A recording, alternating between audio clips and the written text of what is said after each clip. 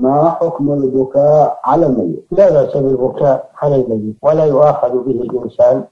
لأنه بغير اختياره ولأنه من الرحمة هذا إذا كان مجرد بكاء أما إذا كان معه صوت ونياحة